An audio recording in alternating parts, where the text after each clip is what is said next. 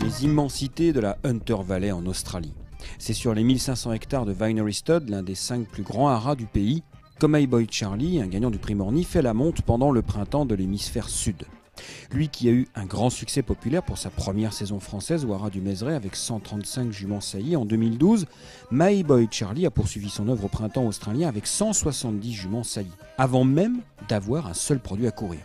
Mais les bruits d'écurie très favorables ont suffi à créer le buzz.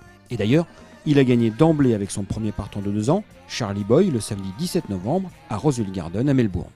My Boy Charlie was a very good racehorse in France, and he has. Uh, My Boy Charlie a été un excellent cheval de course en France. Il vient d'une famille qui a aussi bien marché en France, également très vivante ici en Australie. C'était donc une suite logique de le faire venir en France au printemps 2012. Et il apparaît que les éleveurs ont beaucoup soutenu le cheval. C'était une bonne opportunité pour lui.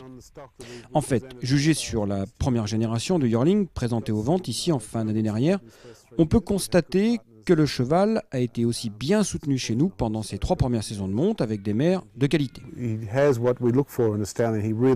Et il est clair qu'il signe beaucoup ses produits physiquement, il transmet son modèle et sa robe.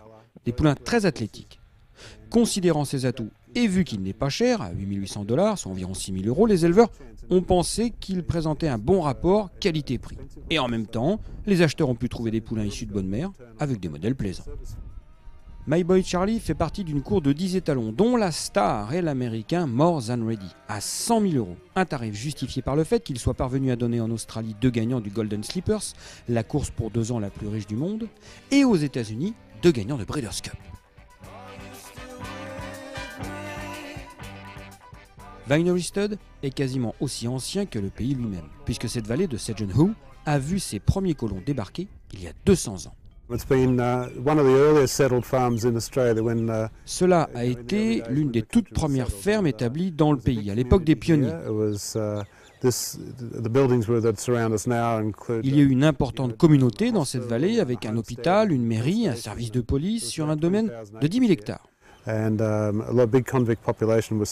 De nombreux immigrants ont été envoyés ici, tout cela grâce à la qualité de la terre. C'est depuis toujours le meilleur terroir d'élevage bovin dans toute la région de Sydney.